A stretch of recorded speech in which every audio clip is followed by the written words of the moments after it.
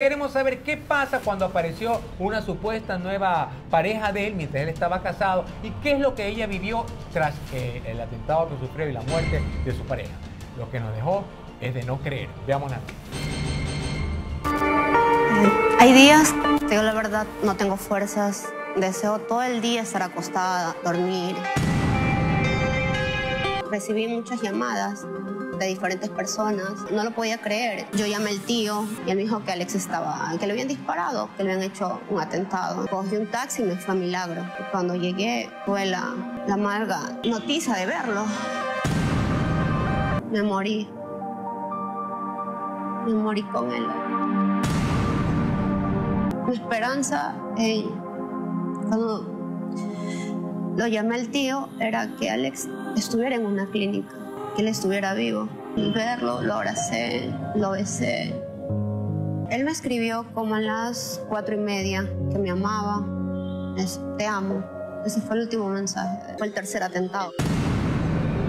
Yo me encargaba de movilizarlo. Yo me levantaba a 4 de la mañana y él iba acostado en el carro. Hasta la hora que él salga, tipo 8, nos regresábamos. O sea, él, ella lo llamaba, pero nunca una llamada amorosa. Sí me arrepiento.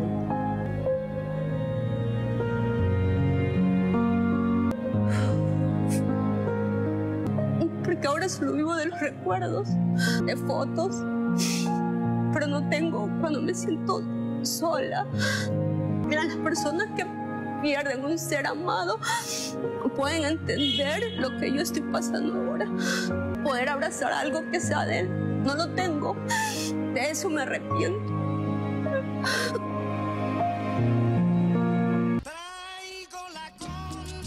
Impactante, realmente impactante las palabras de Paola, la esposa oficial, esposa oficial de Alex León Paredes, quien abrió su corazón para este nuevo segmento, archivos desbloqueados de los hackers.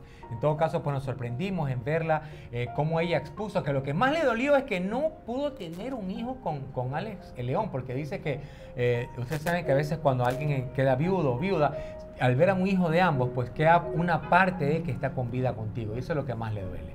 ¿Qué opinas tú, mi querida Carlita? Bueno, la verdad es que veo estas imágenes y la verdad es que me conmueven mucho, ¿no? Ha de ser muy feo eh, perder a un ser querido, a un ser al que uno ama con su vida, eh, a su esposo. Yo creo que está de más este otro tema de si existió o no existió una infidelidad sobre esta chica. Yo creo que en ella ya no debe de importar cuando una persona a la que se amaba tanto la ha perdido y saber que nunca más va a estar con él. Y peor, y yo entiendo la, parte en la que ella dice, en la que tanta pena por no poder tener un hijo, por no haber tenido un hijo, porque por lo menos tal vez hubiera sido un consuelo tener algo de esa persona amada. Ojalá Dios le dé fuerza para que ella pueda seguir adelante. La veo que es una chica bastante joven. Y pues bueno, yo creo que todo se supera en la vida y en algún momento ella va a volver a tener su vida normal.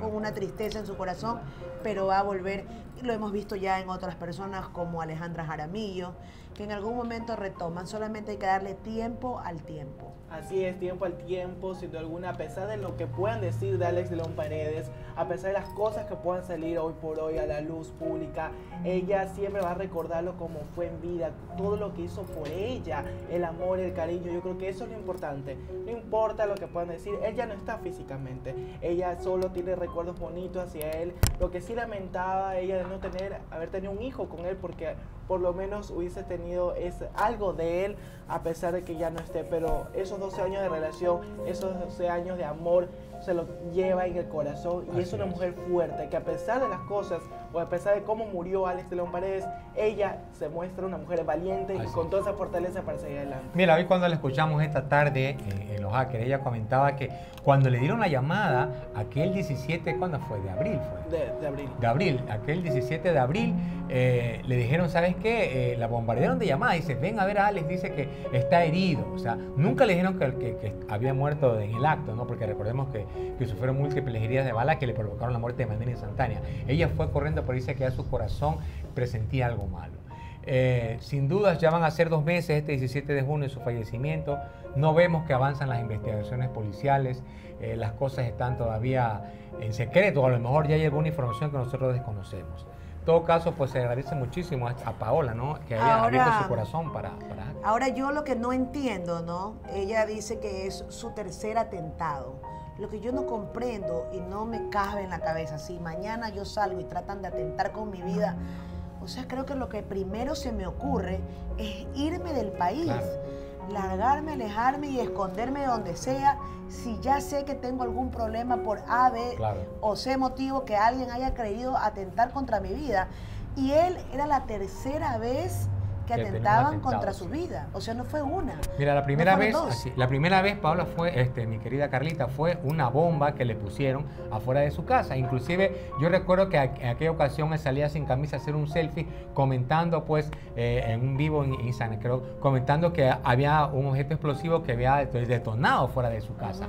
Pero él en ese momento creo que no se imaginó que aquel de- era para él. La segunda vez, cuando nosotros eh, recordarán aquel video este, impactante, cuando él- lo vemos corriendo él como un atleta con toda la velocidad del mundo y atrás un sicario con un arma tratando de hacerle daño, ¿no? Pero afortunadamente en ese momento eh, su estado físico, Se su salvó. excelente condición física logró correr pues más rápido con correcamino y se libró. Sin embargo, la tercera vez que fue eh, eh, en, en pleno gimnasio, donde no tuvo cómo escaparse, pues fue Así la, es. la parte letal. Dieter. Lamentable, ¿no? Yo creo que fuerza y resignación para ella y entender que solo ella puede entender el luto que está viviendo de perder a un ser querido, a su esposo, al que compartió por tantos años.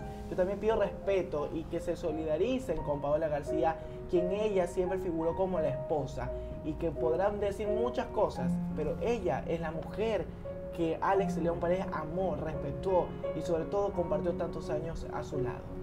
Así es. En todo caso, pues vamos a darle tiempo al tiempo. Y en cuanto a la supuesta otra pareja de que, ten- que habría tenido, pues Alex, pues eso dejémoslos ahí. Ya el señor Alex, el joven, dicho, ya está fallecido. Eh, Ya no está para que se para pueda pelear, defender. pelearse me parece un absurdo. En todo caso, tampoco se puede este, eh, satanizar a la otra persona que estuvo, a la otra chica, porque cuando ella lo hizo público creo que fue una muestra de amor, porque ella no estaba para pelearse con nadie, simplemente. Pero eh, yo tampoco decir que estoy de acuerdo ¿ah? con que esta chica haya salido después de su muerte Claro. a hacer público algo que ella ya sabía que no estaba bien. Ella, ella ya era un amante y creo que Así todo el Ecuador lo sabe, que él estaba casado, que tenía su esposo. Por respeto a los tantos años que estuvo con su esposa, ella no debió haber salido a Sí. hacer de esto un show o un circo. Sí, pero como sí lo dijo Paola, dice que Alex siempre fue a dormir a su casa. Él tenía, podrá tener sus, sus cosillas, sus aventuras, su- sus cosas por ahí, pero que él regresaba a casa, lo que demuestra pues que hubo amor. En todo caso, pues, eh, una vez más se le agradece a Paola por haber abierto su corazón, lo abrió para Hacker en este, este nuevo segmento que se estrenó y definitivamente pues que Dios le dé consuelo a ella, pues y a sus hijos y a toda su familia, que son los que están en vida, son los que realmente sufren.